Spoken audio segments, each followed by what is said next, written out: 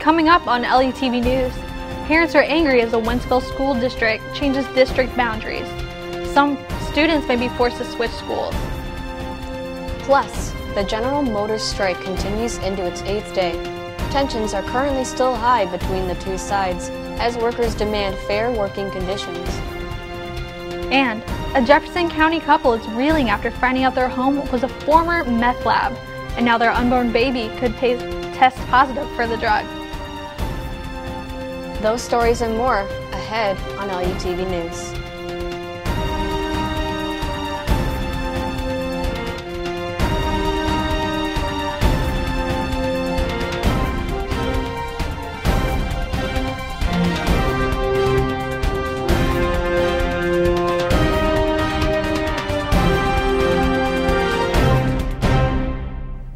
Welcome to this edition of LUTV News. I'm Shaylin Davis.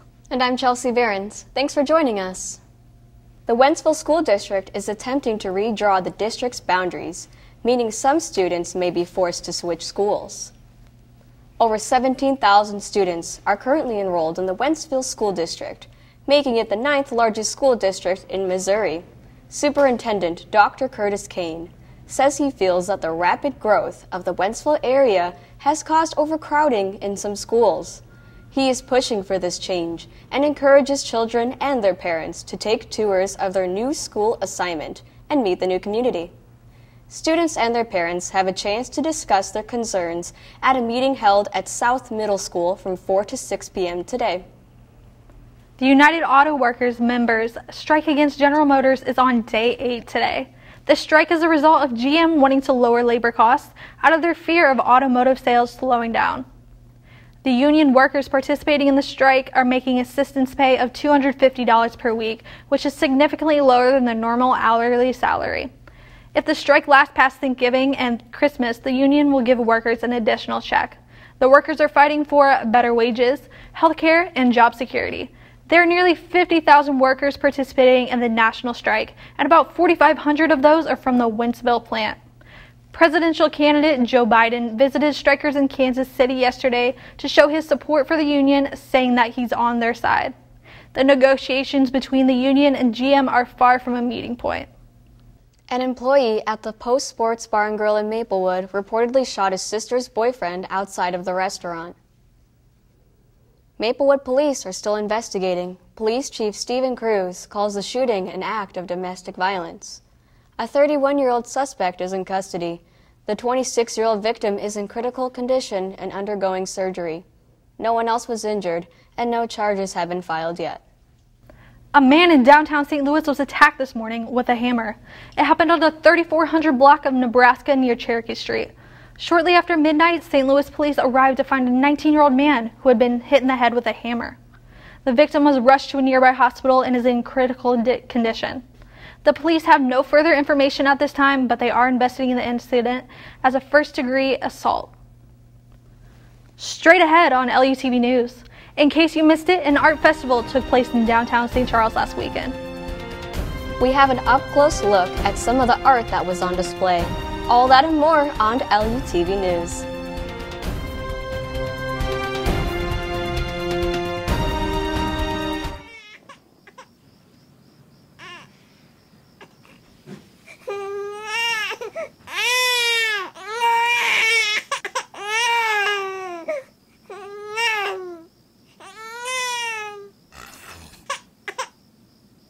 If you love them enough to suck the snot out of their nose at 4 a.m., then surely you'll check nhtsa.gov slash the right seat to make sure they're in the right car seat. Me and my boy Matt had it good. He had catnip that was off the hook. But one day, he brings a girl home, and she's allergic to cats. Every sneeze was a nail in my coffin. Now I'm in a shelter. It's decent, but they don't even have Wi Fi.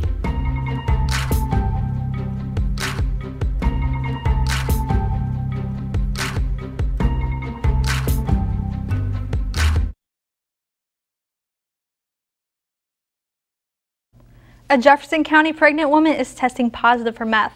The problem is, Alicia Hessler and her husband Tyler say they have never been around meth. The couple's home is the problem. It was apparently a former meth lab. In Missouri, a seller has to tell the buyer if the home has had a drug lab in it. The Hesslers were never told, but they found their home listed on Jefferson County's 2013 list of meth lab seizures. Further testing shows that the home's ventilation system is heavily laced with meth and other drug residue. The Hesslers have since moved out of the home, but Alicia is on the state's radar for meth. Her blood tests are now clean, but the baby will also be tested when it's born. If the baby tests positive, the Children's Division of Department of Social Services may get involved. A man and woman were fatally shot in a car late Sunday night in the Wells Goodfellow neighborhood in North St. Louis. Police say the victims were found dead last night around 11:30 on Maffitt Avenue. Investigators are focused on a white sedan parked on the street. The names of the victims are not being released. The Mosaic Fine Art Festival had its 25th anniversary this last weekend. The St. Charles Festival educates children and adults in how art can enhance their lives. The festival showcased local and regional artists. artists available for sale there are live performances, and a few and a children's village are available for those 14 and under. Dogs on a leash are also welcome to the event. Entry is free of charge and happens every September. Coming up, we will take a look at the forecast and how the weather looks around the area with the beginning of fall, even though it doesn't feel like it yet.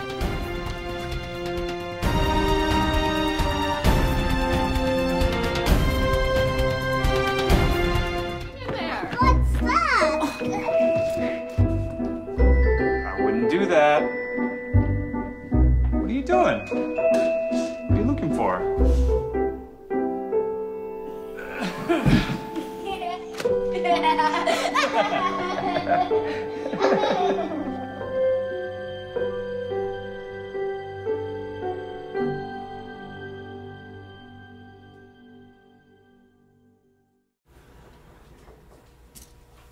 Get it.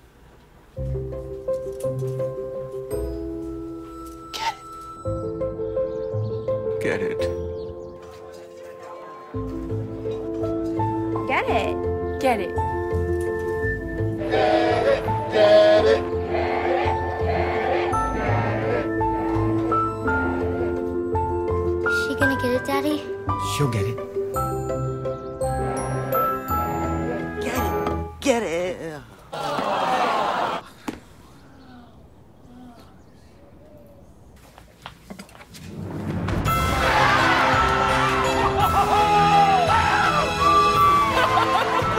When you bring home a Goodwill find, you give your whole town a reason to celebrate because you're also funding local job training and placement programs in tech, healthcare, and more. Goodwill. Bring good home. Queen is just my everything. His smile did it. His smile, his eyes, his knowledge. My landlord, he decided that he wanted me to move based on the fact that I was transgender.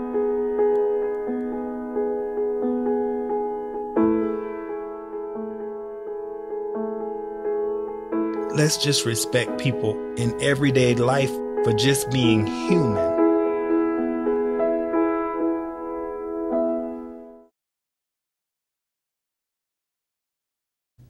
Good news for some of us. Today is the first day of fall. On the west, we have stationary weather since there is a mix of low and high pressures. Moving forward with the Midwest and South, there is a strong high pressure, which means it's going to be fairly nice. So expect to see some pretty skies up above. Sadly, on the northeast, it is expected to be rainy and gray due to the low pressure. Checking the local weather, it is time to keep your light jacket handy because fall has finally arrived, although it doesn't quite feel like it yet. For example, it is sunny and nice in St. Charles and Maryland Heights. There is a high of 78, then it is 79 in St. Louis. And finally, in O'Fallon and St. Peter is 78. Looking at the five day forecast, we are having a crazy week with some ups and downs. Today is really nice with a high of 78 and low of 59. Then Tuesday is going to be partly cloudy with a high of 83 and a low of 66. However, on Wednesday is expected to be stormy and windy with a high of 81 and a low of 61. Then on Thursday, things go back to normal with a partly cloudy weather, a high of 77 and a low of 66. But on Friday, the stormy weather comes back with a high of 85 and a low of 67. This was your five day forecast, and now let's check in with Chelsea and what to do now that it is fall. Chelsea? When you think of fall, one of the first things you think of is lighting up cozy candles. There is a local business on Main Street called the Candle Fusion Studio. I find that it is a great place to make your own custom candle. And with it being the first day of fall, it could be a fun fall activity for you and your family or even for a date. Started was uh, my wife and I were actually looking at some uh, business opportunities or things to do. We actually sought out some experts in the industry uh, in how to create and perfect and make the perfect candle. So the challenge that we have these days is you're not just competing against those in your local market, you're competing against, you know, global markets as well. I start out my day by greeting any guests that come in and want to create with us. We have a variety of products that they can make. Um, I walk them through the process to make sure that they know uh, what they can do here. Oh yes, I totally recommend it. It's a great experience. You know, they explain everything so nice and so easy. And it's a great experience too. So you get a really good kick out of what you create. So yeah, I totally recommend it. Five stars out of five. If you're looking for something to do in the St. Charles area on Main Street, check out the Candle Fusion Studio. For the upcoming fall season, they have the perfect scent for you. Bring a friend, bring your family, anyone. I'm reporting from LUTV News, reporter Chelsea Behrens. Thank you, Chelsea. Up next on sports, the Cardinals make it to the playoffs, the Blues preseason continues, and Lindenwood football takes a step in the right direction.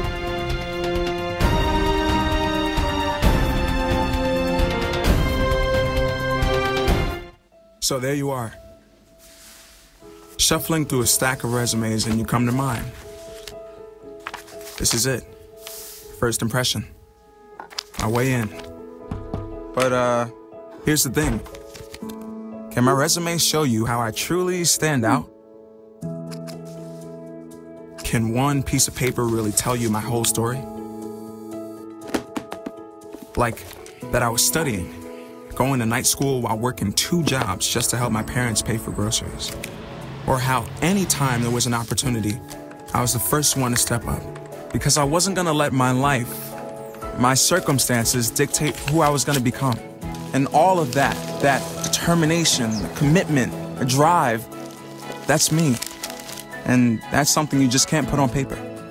Look beyond the resume, discover new ways to develop great talent, like me.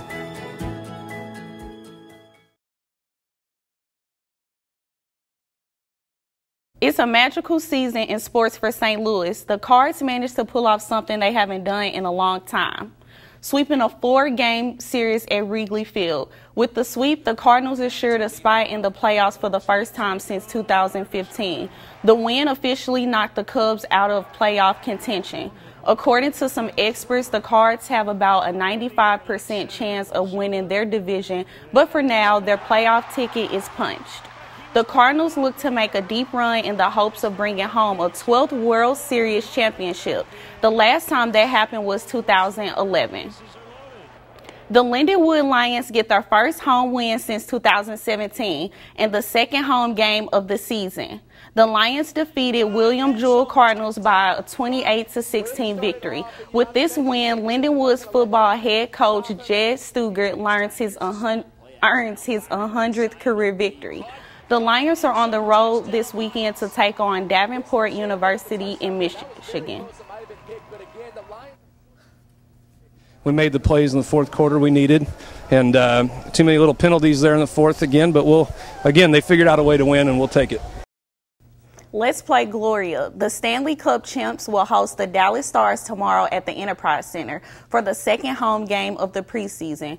Last playoff season, St. Louis beat the Dallas in seven games to go on to the Stanley Cup finals. This game will bring joy to the city as the hockey season approaches closer to opening day.